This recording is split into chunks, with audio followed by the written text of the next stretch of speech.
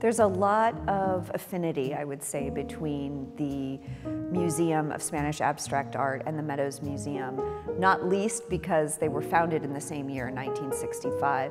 Fernando Zóbel had a very specific vision for what he wanted to do with his museum and in collecting works by his colleagues and friends and making it a museum founded by artists and for artists. The two museums have uh, an affinity in this sense of, of reflecting this collecting and um, philanthropic impulse to not just collect but to share through a small focused museum. Lo que me parece interesante de esta exposición en el Meadows, desde el punto de vista de la buena práctica profesional, es que parte de los proyectos anteriores, por ejemplo la Tate eh, o el MoMA en los años 60 o el propio Guggenheim, eran proyectos de alguna manera muy auspiciados por las autoridades políticas.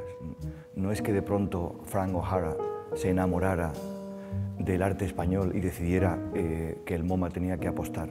Era, era, digamos, un encuentro entre el interés que tenían algunos funcionarios yo no, ni siquiera lo llamaría política, algunos funcionarios del Ministerio de Exteriores por dar a conocer el arte abstracto español, que, podía ser entendido como una especie de aperturismo del régimen, que era, no era democrático, era dictatorial, no era totalitario y por tanto permitía, permitía eso.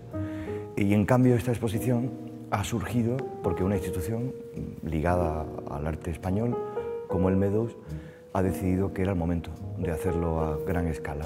Lo ha entendido y otra institución profesional que tiene, como sabemos, eh, la responsabilidad de cuidar por el legado de esta gran colección de Fernando Zobel, lo ha entendido y lo hemos hecho juntos. It's also just an absolutely fabulous collection of mid-century Spanish abstraction. If we could take a kind of cross-section of what some of the most important avant-garde artists in Spain were doing in the 60s and 70s, th this is what we would see. We would see artists like Luis Feito, like Saura, like Tapies, like Palazuelo, uh, Rueda and Rivera, many more. None of the artists in the exhibition um, or in the, in the collection of the Museum of Abstract Art, Spanish Abstract Art in Spain, um, none of these artists worked in a vacuum. None of them worked in isolation. They all knew they were participating in a larger tradition.